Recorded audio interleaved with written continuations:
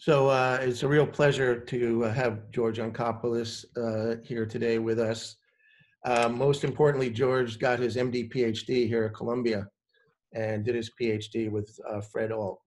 Uh, so George is a co-founder, president, and chief scientific officer of Regeneron Pharmaceuticals, and using novel technology that was developed there by George and colleagues uh, to develop humanized antibodies in mice uh, has led to the uh, FDA approval of at least uh, six uh, treatments, medications based on this antibody technology. so Regeneron is running some of the most important COVID-19 clinical trials, and it's a great pleasure to have George here today to update us on the trials. So, um, well, thanks, Andy. Um, as Andy said, I'm, I'm a longtime Columbia um, um, person. I, I bleed, you know, blue and white. I uh, was an, I actually started in high school. I went to the uh, uh, the scholars program that Columbia has. I went to undergrad. I did the MD. I did the PhD. I was a postdoc. I was a junior faculty. So I was there for about 15 years before I, I left to join Regeneron, but my heart is still with, with uh, Columbia in many ways. Now, I told Andy I wasn't going to use slides, but then I made a few slides. So I hope I'm going to be able to show them. So I'm going to try to share my screen. So I, I figured I would update what we're doing at Regeneron uh, and put in the context of obviously what we're all doing together in the ecosystem. I think this is a great opportunity for all of us, you know, from academia, from great medical institutions, from the NIH, from all the companies to really come together. And I really see that that's happening. And I really do think that ultimately what we all believe we need is a, a safe and effective vaccine. Um, that is something that we are not directly working on. Um, but uh, obviously, that's what I think we all believe we're going to ultimately really need here. Um, and, and as many have said, including t- Tony Fauci, uh, that the problem is that it takes a while to make a safe and effective vaccine that can be widely available. It could still be a couple of years away. And so our approaches are um, short-term approaches that we think could have major impact until the, the so-called active vaccines uh, can arrive. Um, and we're taking on two approaches in that regard, uh, or two major approaches. We're doing a few other things as well, but two major approaches. Uh, one is, you know, using these repurposed drugs, as people say. So obviously, when, you know, this epidemic hit China and they were desperate, they were trying everything. Um, somebody over there had a had the clever idea that this lung inflammation that seems to be causing a lot of the problems, um, uh, leading to all this respiratory distress and all the hospitalized patients on ventilators and so forth that it might be driven by excess autoinflammation, not the virus itself, but the body's excessive response to it, driven by the IL 6 pathway. Um, and this was based on anecdotal evidence showing that severe and critical COVID 19 patients who were in respiratory distress treated with an anti IL 6 receptor antibody, in particular, an antibody known as Actimra, also known as tocilizumab by Chugai Roche, and approved for rheumatoid arthritis and also used for cytokine release syndrome, uh, showed in their uncontrolled experience impressive improvement on average in a series of 21 uncontrolled patients. That generated a lot of excitement that maybe this could make a difference, particularly for these sickest patients who are obviously at the highest risk and have the most um, uh, problems. And as Regeneron had the only other FDA approved anti IL 6 receptor antibody known as Kevzara, um, it also goes by the generic name sarilumab uh, that was uh, invented by us and um, developed collaboratively with Sanofi. Uh, because we had the only other FDA approved IL 6 receptor antibody, uh, everybody really got together. The FDA, BARDA. BARDA is the rapid response arm of the Department of Health and Human Services. Uh, other parts of the federal government. Uh, New York State got involved. Governor Cuomo directly called us up and was telling us we got to try this. Um, and he helped get all the great New York State medical institutions, including Columbia, all on board and unified to initiate in, in, in record time, literally in probably less than a week, uh, a well-controlled clinical trial to determine if this IL-6 receptor antibody approach really benefits COVID-19 patients. Um, what I can say is just that um, it's very hard now looking across all of the anecdotal studies with using a variety of approaches that have been uh, have been described. It's really hard to say whether any or all of them work because the data for all of them in these anecdotal studies all looks about the same.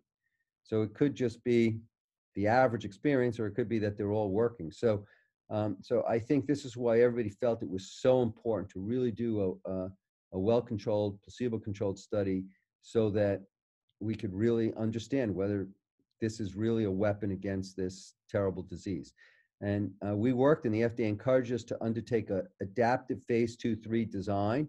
This is something that really, because here, and I, I think this, you know, the FDA were great partners in this effort, as was everybody else. And we talked it over with folks from Columbia and from the other institutions, because everybody felt that nobody knew how this disease really worked. We couldn't design endpoints prospectively. Normally, you have a study and you decide what you're going to study and so forth, and you have your endpoints. And so, what the FDA actually challenges to do to have an adaptive design, where we do a phase two portion, uh, which is going to have roughly 400 patients, and then we're going to all look at the data together. And from that, we're going to generate a hypothesis, which we will then test in the phase three. But the beauty of this design is we will have already enrolled and treated uh, the phase three patients while we're now going to be looking together with the FDA and with our collaborators um, at the phase two data uh, to, to, to figure out what the endpoint is. So we're totally blinded to, we'll be totally blinded to the phase three, but we will then generate the hypothesis and the endpoints. And then essentially within probably a week or two of the phase two data, we'll be able to unmask or unblind the phase three and see whether the hypothesis generated in phase two works. So this is really, I think, a great example of everybody coming together throughout the whole ecosystem, everybody partnering together and doing a study, not only in, in, in record time, but using, I think, this really innovative approach um, to say, hey, you do one study to figure out what your endpoints are going to be while you're still enrolling and treating your phase three patients. So, of course, we hope this approach works, but at least it'll be the first it will probably be the first definitive controlled study, certainly in this space, in terms of the IL-6 receptor antibody space, uh, and, and, maybe any of these repurposed drugs. So I think it'll be very important to see what's going on here. So that's one major approach. I'm not going to talk much more about it, but I'll be glad to take questions at the end. The other approach, which is a targeted approach, and of course, we always think, we believe that these targeted approaches um, tend to have a higher chance of success. And in our case, with this target approach, we've done it quite a few times already before. Um, most recently and notably for Ebola, but we also did it with the MERS coronavirus and a couple of other viruses. And we did this collaboratively with BARDA again uh, over the course of the last five to 10 years. So we have a lot of hope that regardless of what happens with the repurposed drug approach, this target approach has a real chance of working. And it takes advantage of literally decades of technology development that have empowered this approach. And Andy referred to these technologies. Um, basically, they use a, they start with a genetically humanized mouse called the VelocImmune mouse that's capable of making fully human antibodies. And the connection to Columbia is there uh, when I was working with Fred Alt, we're the ones who actually thought of literally making the first human antibody mouse back in 1985, and we've been working on that simple concept and developing it since then. And we use a very related technology base uh, that also takes advantage of convalescent humans. So we believe we're the only um, group or company in the world that has the ability of simultaneously um, making fully human antibodies against anything, and including infectious agents and viruses, both in this genetically humanized mouse environment, but also harvesting them in a very high throughput fashion from convalescent humans as well. And uh, I think that right now, most people believe that our technology is the fastest and best in class, and uh, this has been certainly demonstrated for Ebola. And the same technology, as Andy mentioned, um, has been involved in multiple other FDA-approved drugs. In fact, Kevzara, which is what we're trying, you know, which is the repurposed drug that we're trying here, um, was developed using this technology. In fact, it was the first target that we actually de developed, believe it or not, uh, about 20 years ago with this technology.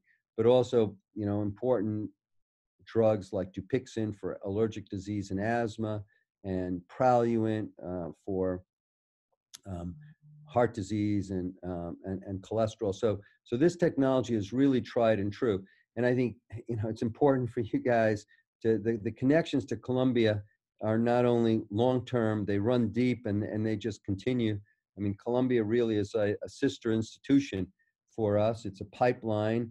Um, I get a lot of your best people uh, come come and join us here. And in fact, um, this effort, and he also led the Ebola effort, and he also led the MERS effort, is a relatively recent, well, I say relatively recent, 10 years ago, um, graduate um, from Columbia, Christos Kyratsous, who was actually in my department that I, you know, I got, I worked and he worked with Saul Silverstein.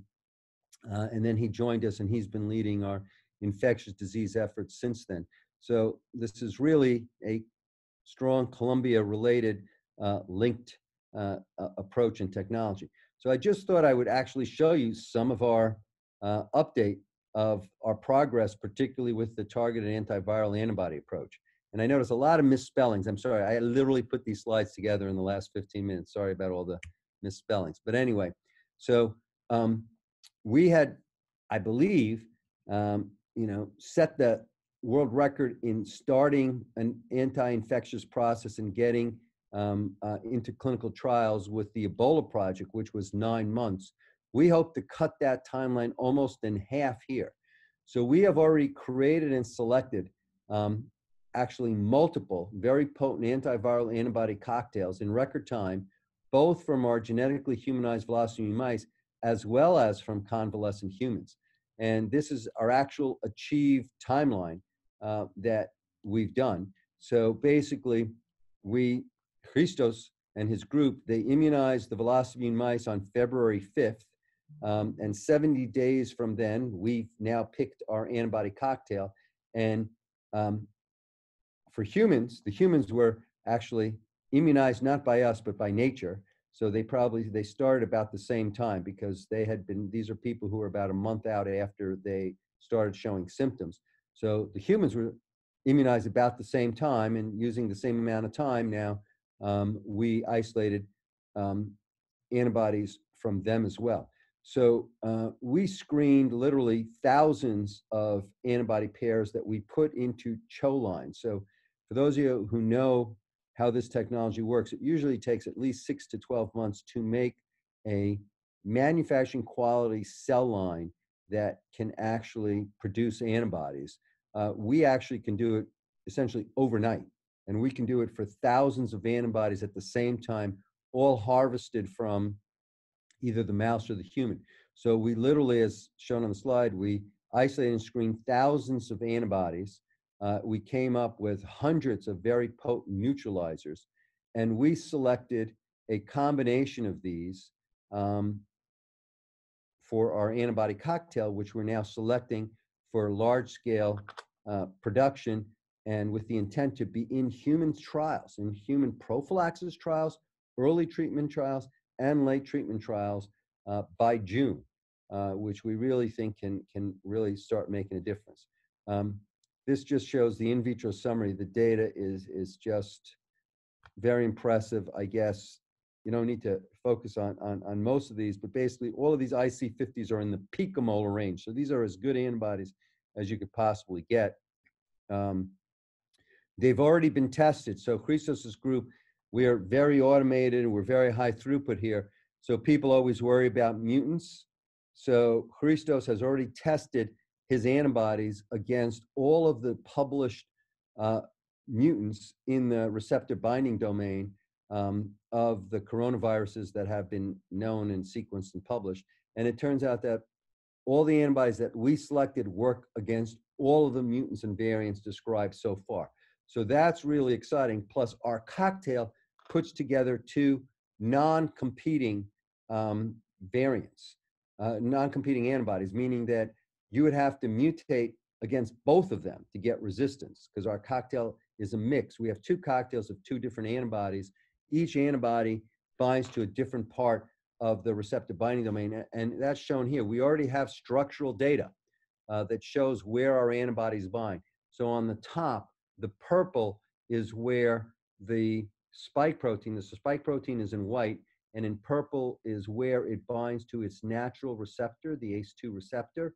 And what we show, EC1, that's epitope class one, you can see that those antibodies, uh, and we, in all of our cocktails, we use an antibody from EC1, that almost completely overlaps with the binding epitope for the ACE2. And then the other EC classes partially uh, to varying degrees overlap. So we're mixing antibodies from these two different, from multiple classes together, one always from EC1, one from another class to make our two cocktails.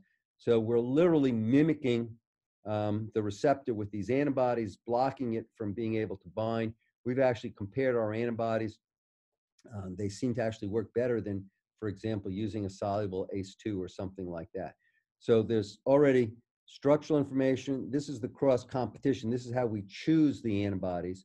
So in red, if two antibodies block each other, you can't put them in the same cocktail because they're binding in an overlapping fashion. So a single point mutation could essentially obliterate binding to both antibodies. We're picking, we picked for our cocktail combinations of antibodies that don't block each other. Um, and, and, and so that it would be very hard then to get a variant um, that simultaneously loses the ability to bind to two of our antibodies in the cocktail. So, so that was um, my attempt to summarize uh, our efforts. As I said, I mean, it's two major approaches. Uh, the goal is that they could have real short-term impact until the active vaccines arrive.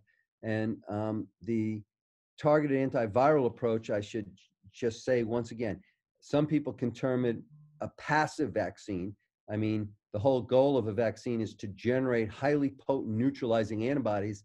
That is what we are providing with this antiviral antibody cocktail, highly potent neutralizing antibodies. We're giving them in pairs uh, to increase the chances of not only blocking, but ensuring against mutant escape.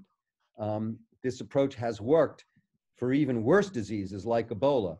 I mean, just to remind you, our approach was used in the World Health Organization study in the Congo, and it showed that um, we could save people who are in the earlier stages of infection for Ebola.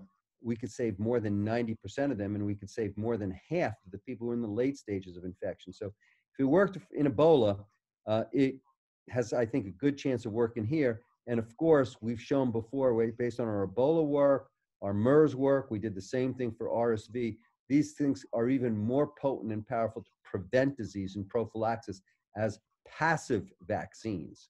Um, so we are going to do actually simultaneously, we're hoping to initiate three separate clinical trials of prophylaxis, meaning we're going to take uninfected people. So for example, we are now designing and working with people at Columbia and other places to design a prophylaxis trial, maybe of, for example, healthcare workers and other first responders and critical care workers that are high risk, we can prophylax them and prove that that can prevent in, in, you know infection in these people. So these people could then start going to work without the fear um, that they have a high chance of, of being infected. So there will be the prophylaxis trial. We're also going to do an early treatment trial. That is, we're going to take patients who, and there's a lot of them who come to the emergency rooms or come to the, the hospitals or whatever, and they're sent away because they're not in severe respiratory distress or they're sent home. We're going to treat those people, hopefully show that we can prevent, and some of them end up having to come back to the hospital and go on ventilators and so forth. So we're going to hopefully show that in these early patients, we can uh, prevent them from having to progress and having to go back to the hospital and so forth, which I think could be a big contribution. And then we're also trying it in the so-called severe and critical people who are in respiratory distress, where the same exact people that we're already now doing in this trial at Columbia and Mount Sinai and other places uh, to see whether we can take the people who are in respiratory distress already in the hospital on ventilators and maybe help them get off. So that summarizes, you know, our major efforts. We're, we're doing some sequencing projects in collaboration with Columbia and others. Uh, we're doing some serology projects. Um, if anybody has questions, we can talk about these. All these things are in collaborations with the ecosystem. I think this is, you know, this has been a great time where, like I said, I can call, you know, my counterpart Michael Dolston at Pfizer, and you know, he answers the phone and says, "What can what can we do together to help?" You know, we call up, you know, people at Columbia, we call up people at Mount Sinai, or you know, across the continent, or you know, across the ocean. We we call up people in Italy and England. All, all everybody wants to do is figure out how to get together and work together to do this. So this has been, a, I think, a great opportunity to show the collaborative spirit that our ecosystem can do, and hopefully our ecosystem will deliver here and show the world that, you know, together we can make a difference. Thank you, George. This was both uh, inspiring and uh, uplifting. Um, there's quite a number of uh, questions, as we, one would expect. Uh, so Darcy, Kelly, um, you should be able to talk now. Okay, so an observation and a question. So here's the observation. I was on the New York Genome Center uh, symposium the, the other day, and there was a very interesting observation, which was if you looked at nasal swabs, what you discovered was that there were some patients in which all of the RNA you got out was viral RNA. So that's a huge infectious load.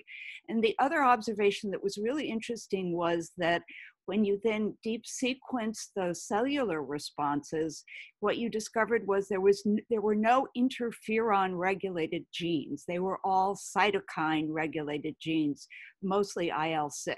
So I thought that was interesting and ties in very much with what you guys see my question is have you done for neutralization studies on human cell lines that would mimic nasal epithelium or mucosal tissues to see that the antibodies reduce viral replication?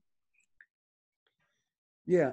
Um, so that is, those are fundamentally our assays. We don't necessarily do them on nasal. So the question was, so there was a couple points and a question. So what Darcy said was she was at a meeting at the New York Genome Center, which had said that it looks like it's possible that maybe the interferon response is downregulated, um, unfortunately, perhaps, uh, in these patients when they do um, uh, assays looking at nasal and lung tissue. And, uh, and on the other hand, IL-6 and other cytokines are dramatically up, upregulated. And that is one of the basis of the rationales for this approach that we're undertaking. I mean, the question is, is that correlative or is it really driving the problem here? And that's what our study will, will, will actually directly test and figure out. Um, so that was the one for Darcy's first point. Her next question is, uh, because there seems like there's in some patients very high replication in the nasal epithelium and so forth, have we actually tested whether our antibodies neutralize nasal epithelium replication. We have tested our antibodies for blocking replication, um, but not in nasal epithelial cultures. That's not really something that we do. We do do in vivo studies. Um, and so far, I mean, our most relevant in vivo experience is in MERS. I mean, we had to knock in, um, and once again, this was work that was led by Christos.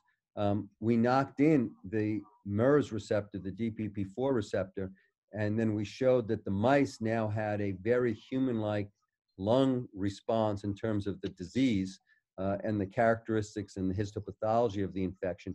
And we were able to essentially completely block it with prophylaxis or actually treat it in a treatment model where the animals were already sick.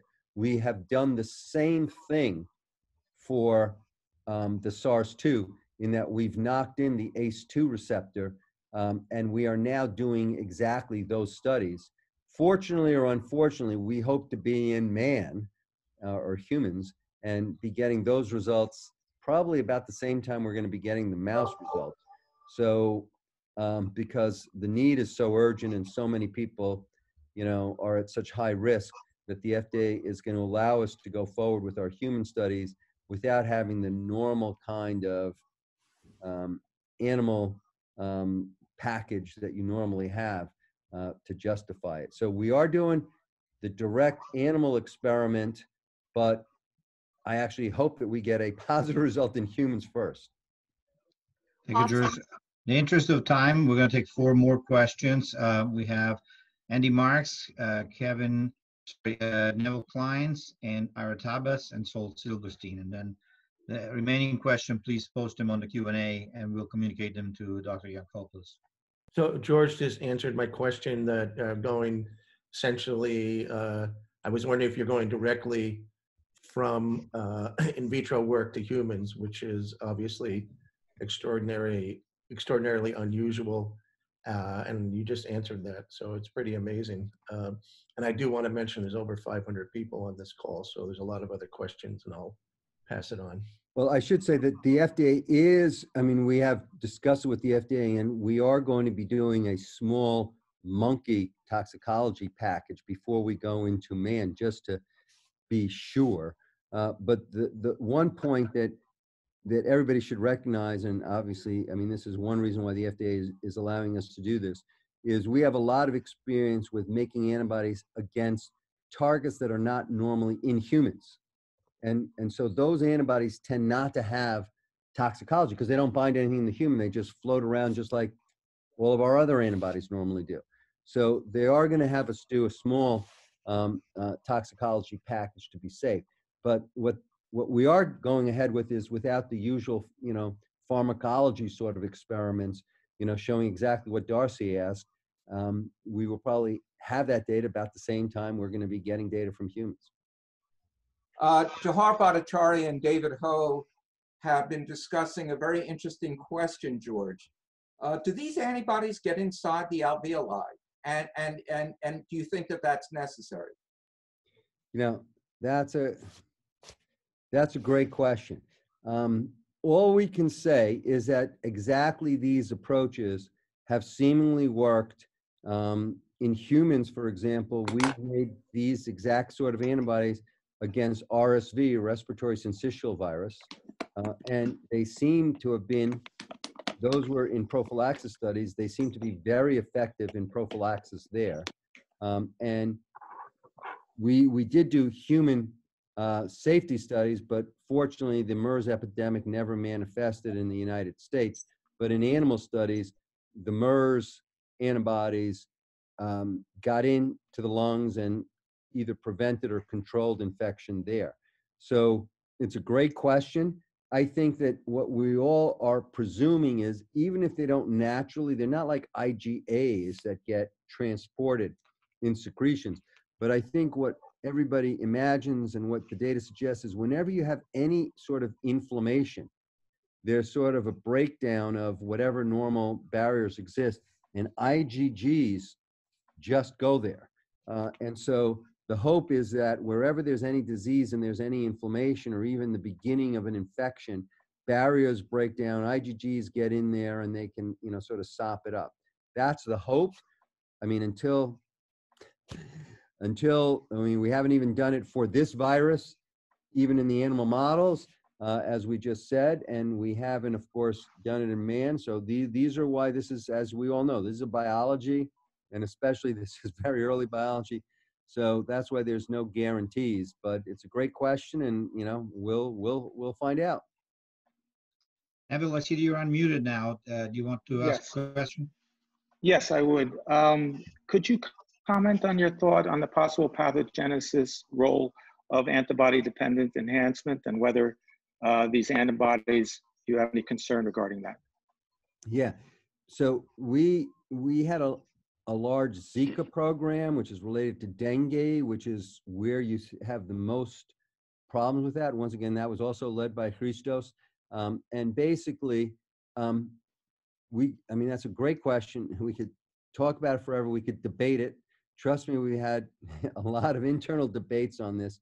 It is once again, it's always a concern until you prove for sure that it's not a concern. Um, but that said, um, the receptors for these viruses are not found in macrophages and neutrophils. So, uh, and we've shown in vitro, you don't get that sort of ADE that you see with with dengue and with Zika viruses and so forth.